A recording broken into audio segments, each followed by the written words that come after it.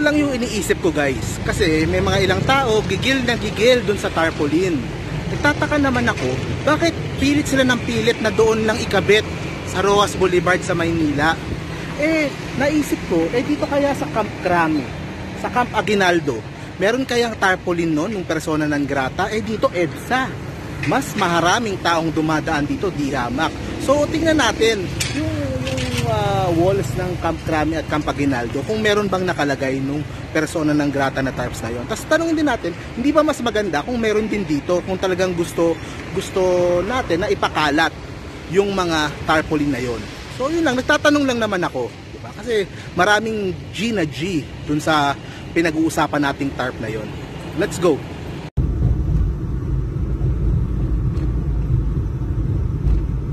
Ito po, pader ng Camp Crame.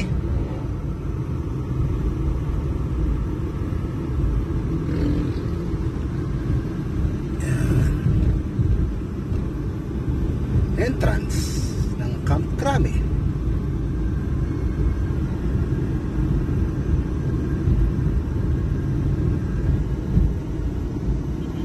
Ito yung mga tarpaulin nila dito, online legal consultation, advisory,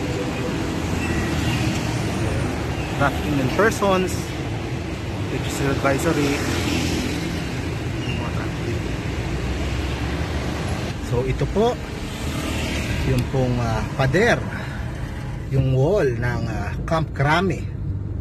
Ako po ay fully support, 100% support our police, 100% support our military. In fact, ay, ay ako nga po ay gusto ko pong maging ano maging talagang uh, ino-honor po natin yung ating mga sundalo at kapulisan dahil uh, sila po ay nagbubuwis ng buhay to make sure na ligtas po tayo.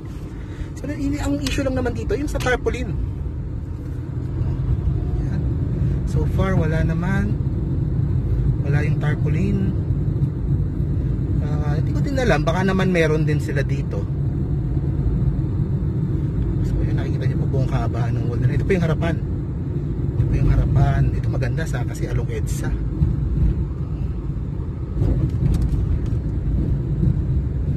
oops may isang tarpaulin. Tingnan natin ano to.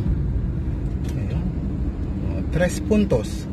Responsable eh, may billboard pa dyan no? Pulis ako respetado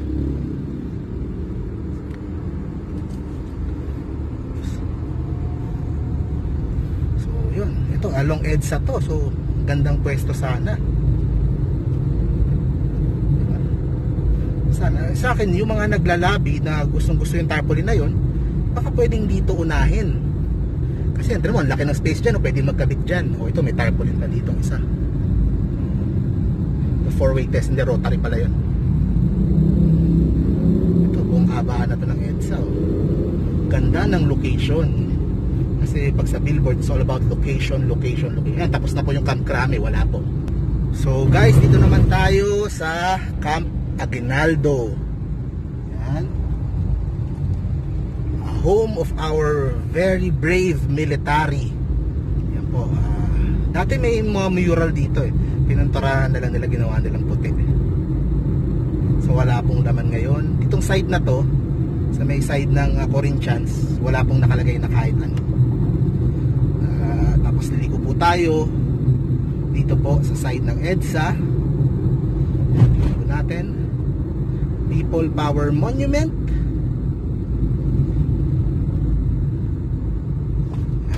Tayo. Tingnan silipin din po natin. Baka naman meron dito sa side na to. Pero dito po ang talagang prime na spot actually. Kung maglalagay ng tarpaulin o ng uh, o ng kahit anong uh, billboard ditong side po maganda kasi napakadami po ang tao pong dumadaan po dito araw-araw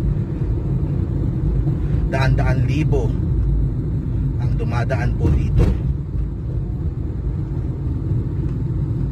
so yan ito po isang gate eh palaki ng billboard oh. pwedeng pwedeng lagay niya ng tarpaulin no? so yan yan malaki yan malaki ng billboard oh. so yan so guys ito yung huling gate along EDSA Ayan, eh, pwedeng kabitan ng tarpaulin dyan. Oh.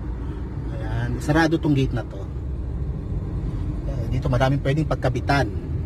ng tarpaulin na gusto nyong ikabit. Yan, AFP you can trust. Talagang saludo ko sa mga AFP natin. So ayan, ngayon, paliko ngayon tayo. Pasok ng Boni Serrano. Tingnan dito, ma, ma, malawak din yung yung wall ah, ng ah, Camp Aguinaldo along Boni Serrano. So tingnan din natin yan ah. Silipin din natin.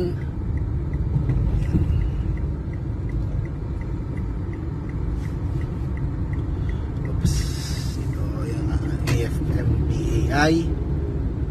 Mga iba't ibang organisasyon na involved sa AFP yan. Marami sila dito.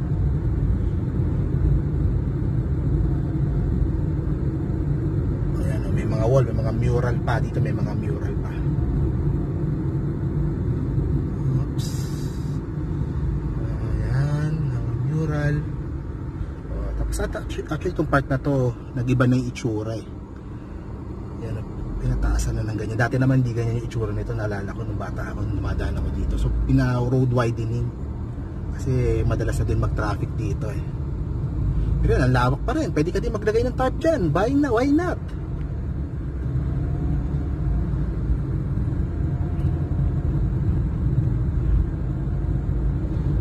Ayan, ayan. So, Inikot lang, po natin kasi po, ah, di ko din alam, baka naman meron palang ano, meron palang ah, tarpaulin ng persona ng grata dito na hindi ko lang napapansin.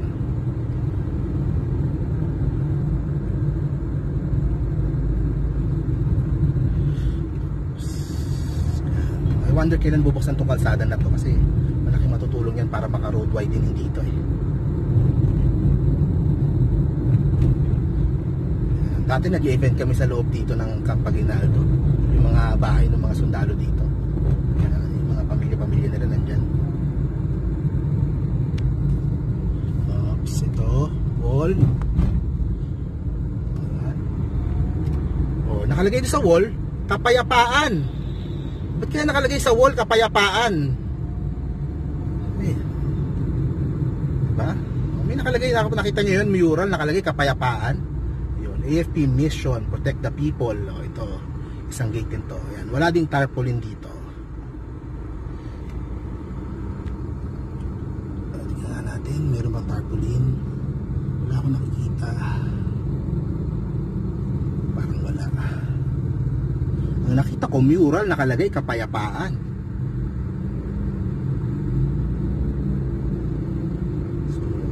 Natin.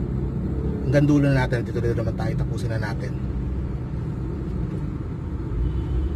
Okay. Ito yung pasukan nila. Ito kaya may tarpaulin. Wal, ah, ginagawa. Wala, walang tarpaulin din eh. May pwede sila magkabit dyan. Kasi pasukan din yan. O, ito, mural na naman uli. So, yun. So, walang tarpaulin.